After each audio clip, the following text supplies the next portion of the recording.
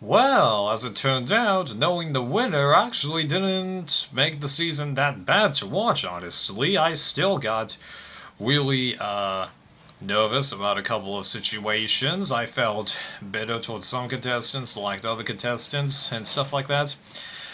Because I knew the winner, I did uh, figure out the results for quite a few evictions beforehand. Kristen, Ragan, Brittney, and that kind of thing. But the final free one did surprise me. More on all that stuff later, I hope. So, um, I feel like I kind of have to touch upon the fact that a lot of the uh, girls kept getting booted in this season because when the season started off, there were six girls, seven guys. There actually was originally supposed to be another girl, but for some reason she dropped out, whatever, so... And then out of the first six evicted, five of them were women, except uh, Matt used a diamond to power veto, which got Kathy out.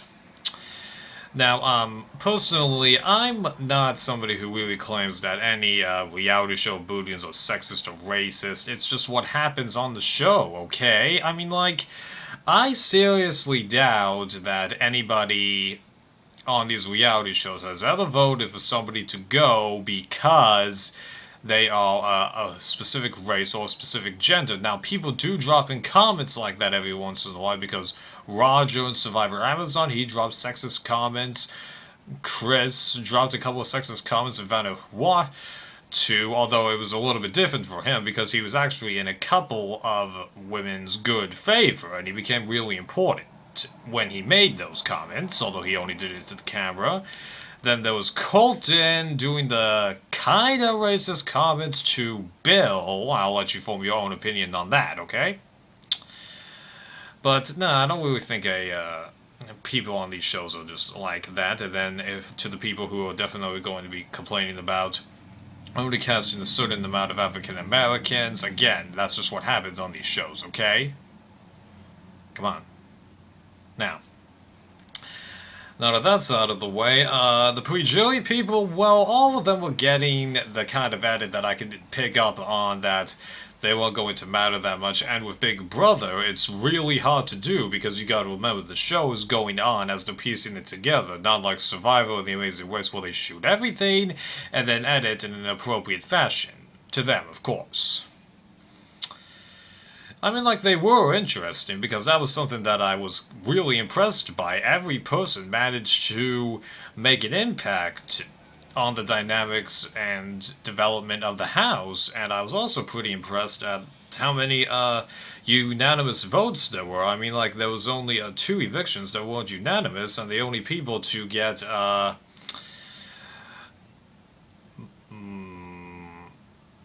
repeated votes was actually Matt, and then Hayden got one vote that he honestly should not have gotten. So, yeah, it's amazing how seasons like this turn out. I always kind of like that, you know? So I touched upon the pre-jury people, not much to discuss, except I was bummed that Annie, as saboteur, got booted so fast because I was like, that's the main twist for the season, and then you just eliminate it, just... Drat.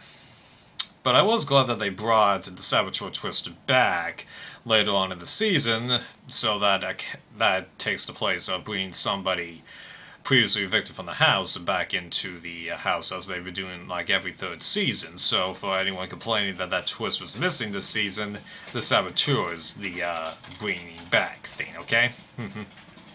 I've got the window open if you're hearing noise from outside. So, uh...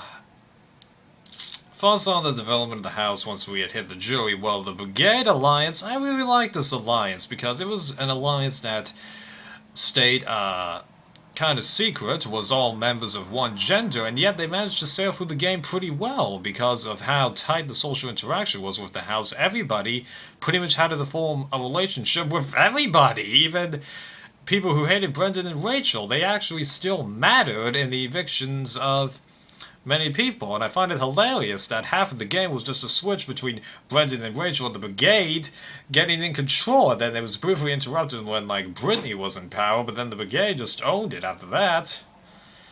Interesting. So, uh... Now, how do I feel about Brendan and Rachel? I gotta admit, I honestly didn't really like them. It's more Rachel's fault than Brendan's fault, because, um...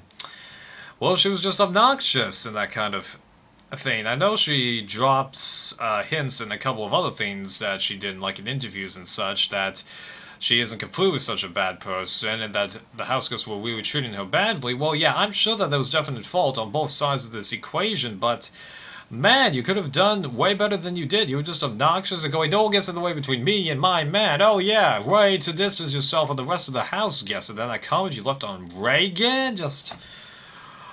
Ooh, I am so impressed that nothing really happened, that there was no actual fighting going on in that ha house, because that's something that's interesting. I can't really uh, think of a situation where an actual fight has broken out in the uh, Big Brother house, and it's pretty amazing that that's happened, because, you know, all the arguments that happened at the beginning of Season 4, then, uh, the house being perfectly split in Season 6, Evil Dick's comments, you know?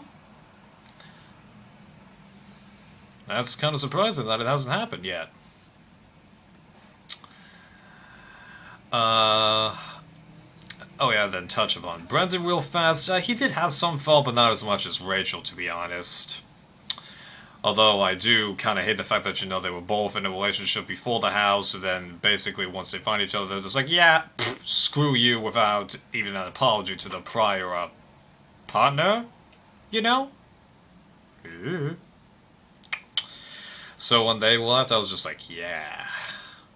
Although I did, although I was a little bit sorry to see Brendan go because you know he fought to get to where he was, although he was helped. So yeah. And that's basically how I feel about uh, Ragan and Brittney also, because they went through quite a lot to get to where they were in the game, and they had good relations with most people, but they were just a threat to uh, stop the uh, members of the brigade from winning. So, yeah, they did kind of have to go. And Matt, he was pretty good and strategic, mind, but unfortunately he distanced himself because the social relationships he had just ended up outplaying his usefulness in the game. And it was a bummer to see him go early because I would have loved to have seen what would have happened had that kind of drifting not happened, or at least the brigade decides not to focus on him and follow the original plan. That would have been real interesting. So I think that covers up uh, pretty much everybody. Oh yeah, Ragan as the second saboteur. Well, since it ended, given how they made it seem like Annie uh, came up with most of the ideas for sabotage either on her own or through production, it didn't feel like as great. But I love the fact that nobody thought it was him. Seriously, no one did. So good job, Ragan. Yeah. Then the thoughts on the final three. Well, obviously, since I knew Hayden uh, won, that's where the season stopped uh, really being interesting.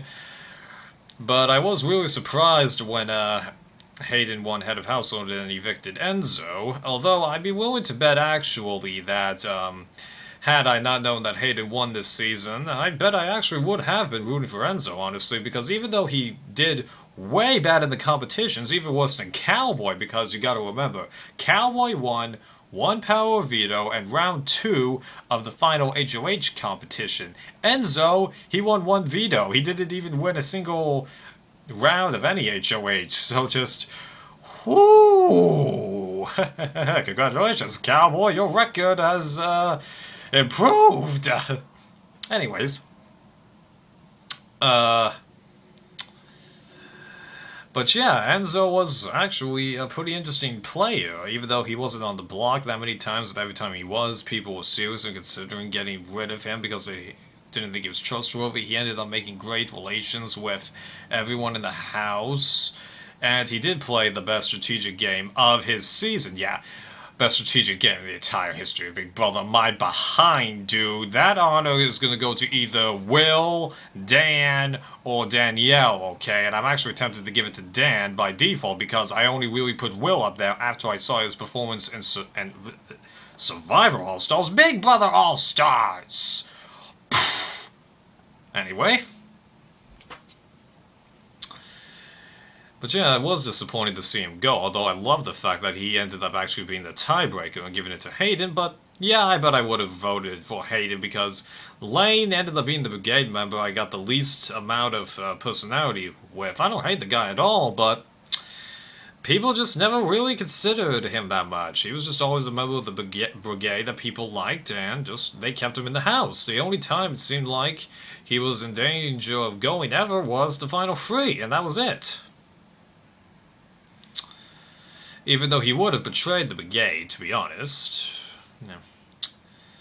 So that's really all I can say about this season. I really liked it, and I'm amazed that knowing the winner actually didn't uh, really affect my opinion about it at all. Although, had the season gotten a more negative tone, I bet I wouldn't have liked it, but yeah, I guess I just got real lucky. Let's hope I don't learn the winner for any other future reality show competitions and all that. So I started watching season 13, kind of mixed on my thoughts about it. But we'll see what happens with that season. I've heard that this one's kind of...